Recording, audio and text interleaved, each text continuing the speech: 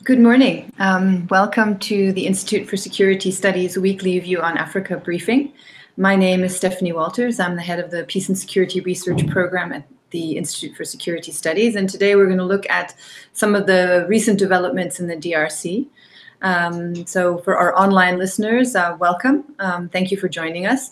The last time we looked at the DRC was, um, I think, in late September, and there have been quite a few developments since then. Um, and so today, what I'll focus on primarily is the political accord that was reached uh, on October 18th, and what the implications are for stability and elections in the DRC as a result of that political accord. And I'll also touch on some of the developments since then, the Security Council visit, um, and also the um, speech that Kabila gave yesterday to, to, to Parliament. Um, so we, after after several weeks of ongoing talks at the political dialogue level in Kinshasa under the auspices of the AU mediator Edem Kodjo, um, and as many of you will remember, this national dialogue was essentially boycotted by most of the key opposition parties. There were some that did participate, notably Vital Kamerhe of the Union Nationale Congolaise, um, but the Rassemblement um, boycotted the uh, talks, as did the MLC. And so Tshisekedi, the MLC, Moise Katumbi, Olivier Kamitatu, quite a lot of heavyweights did not participate um, on the grounds that it did not um, address some of the key issues and on the grounds that they weren't happy with the facilitator. The Catholic Church withdrew from the talks in September after the um, violent repression of protests in Kinshasa led to the um, killings of several dozen people and did not return to the talks.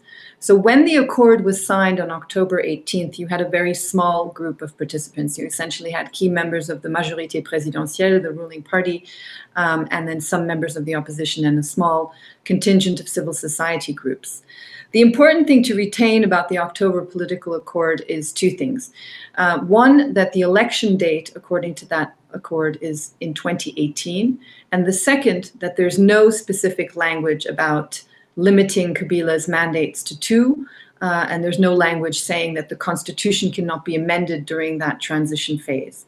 So from from from the perspective of, of an analyst um, and, and those of us who are, who are looking at this as a potential um, beginning of, an, of, of, a solution to, to, to, to the instability, it really ended up being the worst case scenario. What we had hoped for, of course, was a more inclusive dialogue, uh, we had hoped that uh, that perhaps the Catholic Church could come back and that the Rassemblement might join. Um, and that would have required concessions from the government, um, notably on the election date and on specific language about Kabila staying. Um, now we have an accord that really, uh, under no circumstances, can be acceptable to uh, either the political opposition or, it seems, the international community, um, because it, it really gives us a, another two-year waiting period with a potential extension of that until we have those first elections, so 2018, and again, no clarity on Kabila leaving. So it hasn't um, met any of the requirements that we, we, we think are necessary to try and stabilize the situation or to chart a, a, a clearer way forward, if you will. Um, this accord was endorsed by SADC and the ICGLR at a, at a joint summit in Luanda on October 26th. Um, which was what we expected. The region has been very supportive of these types of efforts to, to um, if you will, find political compromises through domestic means. Um, so SADC and ICGLR endorsed that that that political accord, which on the face of it um, is is something that that that isn't terribly helpful, if you will, um, in the sense that it it really gave Kabila uh, in addition to the domestic victory that he got, where he, he basically never had to make any concessions, also the endorsement of two key regional blocs. So initial reaction to that endorsement was, was that this, this made the situation even more difficult. So now we have an AU-mediated uh, process, so an AU-endorsed process, and it has the, the, the approval of two key regional blocs. And so the question was, you know, what kind of leverage do we now have to try and potentially uh, get some concessions out of the government that could be acceptable to the opposition and in that way stabilize the situation in the DRC. Um, I think there are there is reason to be somewhat hopeful um, at this point, and and and there are two key reasons for that. Um, although the SADC, although SADC and the ICGLR endorsed this uh, this political accord of October 18th, behind the scenes, Angola, who is a key player in the DRC, um, appears to have made it somewhat clear to the Kabila government that the accord needs to be more inclusive. So, in other words, more people need to sign up to it and, and adhere to its outcomes.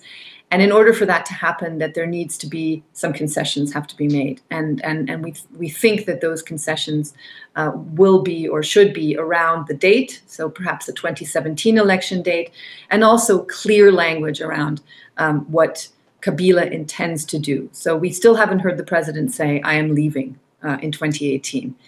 Um, we know that these efforts are, this was something that was communicated to the Kabila delegation at the SADC summit. And we have since seen Angola take the lead again on the DRC um, in the context of its leading the UN Security Council delegation that was in Kinshasa late last week and over the over the, the early part of this week, where again Ambassador Martins, who, who led that delegation, also delivered um, and, and showed solidarity, I would say, with, with the message that was coming from the UN Security Council about the need for a more inclusive dialogue. Now, why is Angola important? Angola is important because it has um, been a, an important ally of Kabila's for a very long time. It's a very powerful country. It has a very powerful military. It's always played a very important behind the scenes role in Congo Kinshasa and also in Congo Brazzaville. So it has leverage. Um, and the reason to be hopeful at this point is because if, if Angola is willing to speak clearly with Kabila uh, about the need to improve aspects of the dialogue, then that means that potentially he will be listening to that uh, message from them because they can influence whether he's able to stay in power. Now, Angola's interests in the DRC are not necessarily um, motivated by a desire to see a functional democracy. They're primarily motivated, we believe, by the fact that Angola doesn't want to see large scale instability in Kinshasa in particular, or in the country on a wider level. And so the sense is that the Angolans are frustrated with Kabila because he hasn't been able to come up with an ironclad uh, um, structure, let's say, for this electoral delay. So whereas in Burundi we had um, the constitutional court interpreting the Arusha agreement in such a way that um, allowed Nkurunziza to go for a third term, or in Rwanda where we saw a referendum, or in Congo Brazzaville where we saw a referendum, the sense that the Angolans have, uh, uh, we believe, is that this political accord of October 18th is simply it's too leaky, it's too imperfect, it's too easily contested, and it's not going to do the job. In other words, it's not going to seal the deal on, on exactly uh, what happens after December 19th. And this seems to be what's motivating Angola to try and get Kabila to make some more concessions.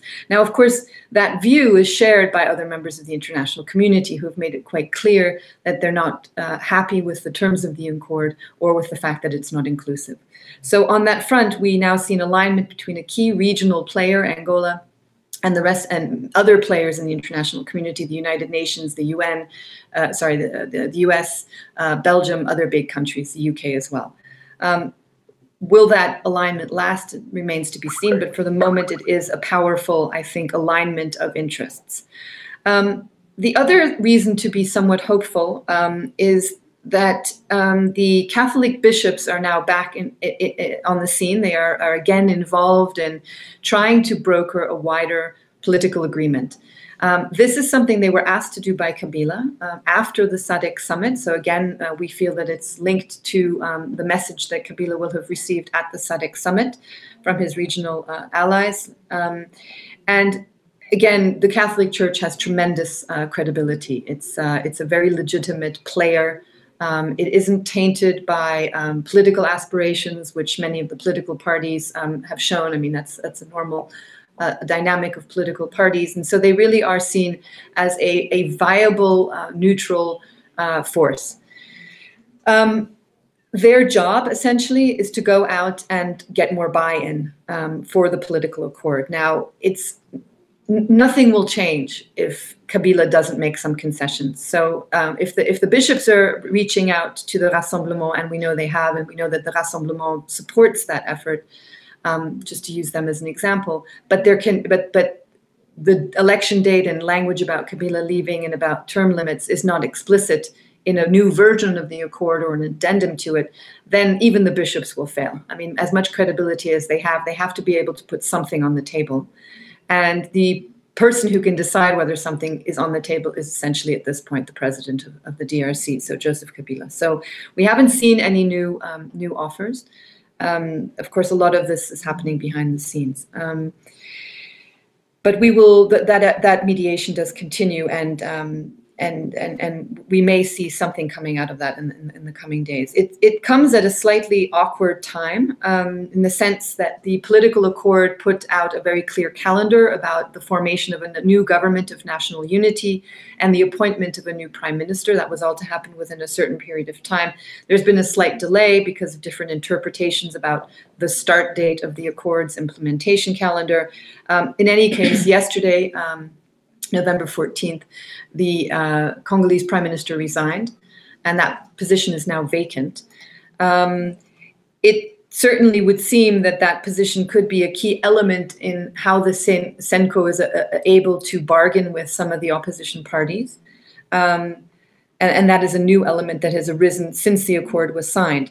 Prior to that a new initiative, I think the sense was that someone like Vital Kamerhe might um, get the position of prime minister. Uh, Vital Kamerhe, of course, being the, the key opposition figure who participated in the dialogue um, and who many believe sort of delivered that accord for President Kabila. And so the sense was that he might get the reward uh, and the job of prime minister.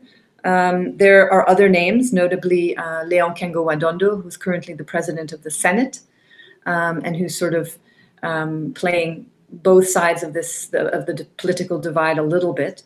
Um, and then a few other names that are probably not not really terribly viable, notably Azarias Ruberwa, who used to be the leader of the uh, RCD rebellion um, and and then come, turned political party. But I think that that that would be a bad move on Kabila's part because of the rumors around his association with Rwanda and so on. It would just be politically um, quite damaging, I think, for him to choose that person. So it's at this point we think probably between uh, Kamerhe and, and Kengo, but there may be other names. And of course, there's um, this there's talk about how the government has approached Tshisekedi. Um, we, we haven't substantiated that in any particular way at this point. Um, I think Tshisekedi uh, at this point isn't wouldn't be willing to accept that job. He would lose uh, tremendous credibility if he did accept it um, without some kind of concessions being made on, on the electoral calendar. But that announcement is imminent. Um, Joseph Kabila made a speech yesterday in Parliament, um, which followed his prime minister's um, resignation, where where and he doesn't often do that, and, and, and that's why it's extremely closely watched, especially under the circumstances. Uh, it comes after the Security Council visit. It comes after the resignation of his prime minister in the midst of these negotiations with the opposition. Um, of course, everybody, as always, was looking for clues as to what he intends to do um, and, and, and, and whether or not he, he, he would like to stay on in power. Unfortunately, his, his speech didn't give any real clues about what he intends to do. He reverted to the language he's often used, which is that uh, the Congolese government will respect the Congolese constitution, um, which is, I guess, eh, you know, could you could interpret as meaning uh, because there are two mandate limits. In other words, he won't go over those mandate limits. But I think at this point, in order for there to be stability, you need that to be made explicit. It shouldn't be couched in this type of of, of legalistic language. I think uh, everybody has made that quite clear to him that he needs to speak clearly about whether or not he intends to stay, and so he didn't do that. Um, and in fact, his his the tone of his speech yesterday was quite combative. Uh, so he spoke about foreign interference in the DRC. He spoke about um, the supporting the CENCO and the bishops' efforts to um, to bring in other parties to the accord. But he also said that the country would not be held hostage by a, a fringe of the of the country's opposition. Um, he spoke strongly about um, making veiled accusations about um, potentially the opposition manipulating or using violence to achieve its means. Um, and so it overall, it was not a speech that that that that that gave a sense of concession, reconciliation. That was really um, designed at bringing the opposition into the fold. I think in, in many ways it was it was extremely aggressive towards them and also towards the international community. So the Security Council visit um, took place over the weekend. There was a meeting with Kabila. There are sort of divided opinions about exactly what Kabila said there. Um, the, the Security Council's message is very, very clear. Um, they're, they're supporting dialogue. They think there needs to be a, a, more inclusive group of people who adhere to the political accord, and so clearly not an endorsement of the roadmap um, that, that has come out of the political accord. So uh, the Security Council would not have been seeing eye to eye with Kabila um, over the weekend about that. Um, the last thing I want to say before we go to questions is, is just that um, you know, one, one must remember, in addition to the combative tone of, of Kabila's uh, speech yesterday, which, you know, because he speaks so rarely and because the moment is so tense, I think is something that will not go unnoticed and that was significant. It would have been deliberate um, and it was sending a particular kind of message. And I think that we can um, make some conclusions about what kind of an attitude we can expect from the Congolese government. And of course, the important thing to remember as well is that all of these events since October 18th and before that, before the dialogue, when the dialogue started, are taking place in a context of ongoing human rights violations, ongoing arrests and harassments, harassment of civil society activists, of politicians, um, and then more recently and even more blatantly, uh, a, an absolute crackdown on freedom of speech and freedom of expression. Um, we've we've seen in the last 10 days the Radio France International signal being shut down in Kinshasa. Um, and this is a very, well, in the country, it's FM signal. It's a very, very significant radio station through which many Congolese do access important information. Um, so that signal was shut down. Um, and so was the signal of Radio Okapi, which is the uh, radio station set up by MONUSCO um, many years ago and which has a lot of credibility and is an important source of information for a lot of people uh, in the DRC as well. That has since been turned back on, presumably because of the Security Council visit. Um, but Radio France International has not been turned back on. And since then, the government has tabled legislation um, demanding that all international media partner with local media before they can be on air or operate in the DRC. And so, so this is an important thing to remember: is that um, we we we have ongoing, very mixed messages. So the, the bishops going out there and trying with a mandate from Kabila to to convince the opposition to adhere to a political accord, and at the same time, uh, violation of basic fundamental rights of freedom of expression, freedom of assembly, uh, and so on. Um, and that's really important, I think, to emphasize um, as we try to to move forward. So, uh, a lot of possibilities potentially, um, uh, but also very mixed messages coming out of the out of the Kabila government at this point. Thank you very much.